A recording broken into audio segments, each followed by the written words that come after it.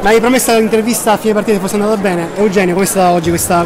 Che emozione hai provato a vincere il derby? Eh, beh, è sempre una bellissima emozione, siamo contenti, siamo contenti di aver vinto contro una squadra che forse è un po' più esperta di noi dal punto di vista dell'età e anche dell'esperienza in questo campionato.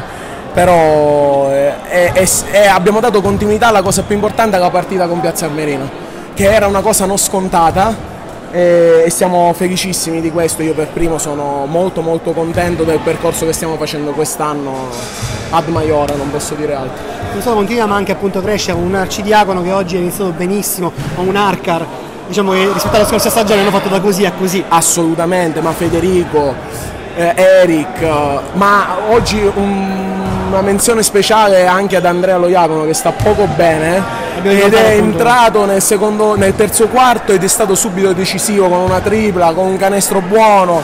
Insomma, veramente oggi pe peccato, personalmente peccato perché sono stato un po' martoriato dai falli, perché avrei voluto giocare di più, ma l'importante è aver vinto. Mi sono felicissimo di aver vinto. E ora come sarà? Ti chiedo già il girone di ritorno perché ormai abbiamo quasi finito il girone di andata. Eh beh, per, noi però il girone di andata ancora non è finito, abbiamo partite importanti, c'è Fortitudo, c'è la Vis, sono già, già queste eh, banchi di prova importantissimi, eh, fortunatamente arriveranno anche in casa.